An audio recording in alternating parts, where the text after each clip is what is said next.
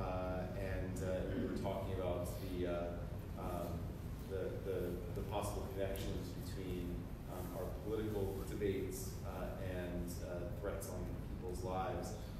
And I'm cognizant of the fact that we are sitting in the Virginia Holocaust Museum uh, just a couple of short weeks uh, after uh, the events in Pittsburgh, and both of you were at the commemoration of the 80th of Kristallnacht commemoration that uh, we held at uh, the uh, Emek Sholom uh, Holocaust Memorial Cemetery.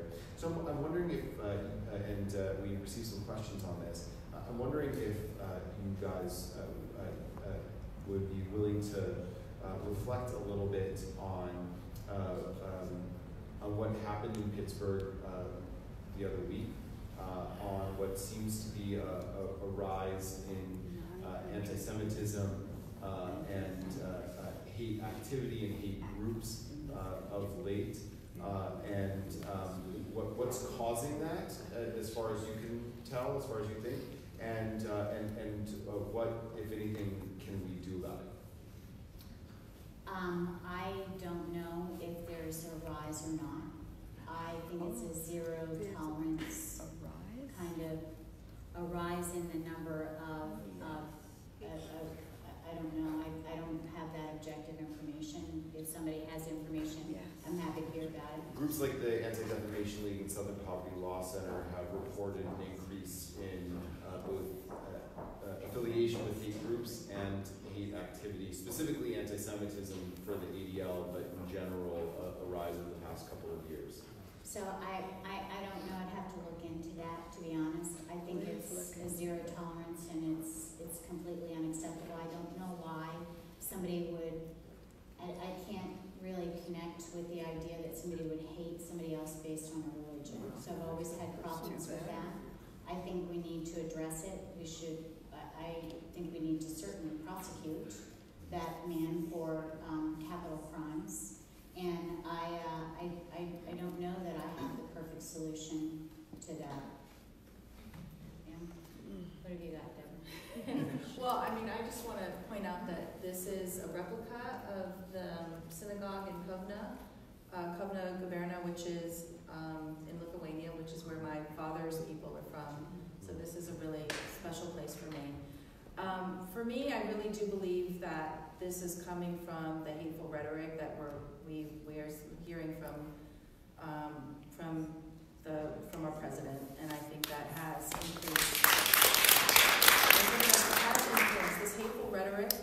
I mean, I mean, uh, just as an immigration scholar, you know, the way he talks about um, immigrants, the, the the way he used the caravan wedge issue before the midterms for me was was really horrifying, and I, think that this has, you know, pushed people who are on the edge, and, and it goes along with, I mean, the, the white nationalism that we have seen throughout, um, you know, increased in the United States. This is a serious issue in terms of, of, of the nationalistic movement.